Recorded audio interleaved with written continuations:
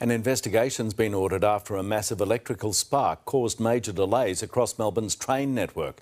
Mark Santomartino says passengers on board a Sandringham line service were forced to evacuate onto the tracks. Sparks shower a train carriage as an explosive fault stops the Sandringham line in its tracks. Passengers clambering onto the rails to escape the drama. Big bang.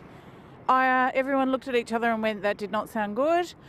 Then sparks, and I'm like, oh God, let's get off the train. The 720 service had just left Flinders Street station and barely made it past Federation Square when the power cut out. Stranded in the dark, passengers pulled emergency levers after hearing the third loud bang. We were scared because it was like big, big, it's like a blast. We don't know what's happening out there. It was smoking a little bit, so I pulled out my phone, um, and then, yeah, bang, it happened once more. Major delays followed for the Sandringham line, with replacement buses called in all morning and into the afternoon. I was early, I'm now half an hour late, and I still have to tap off somewhere. I don't know. Got to tap on, tap off, don't we? Affected passengers had to walk the final few hundred metres towards Flinders Street Station on foot with no other option after they were evacuated.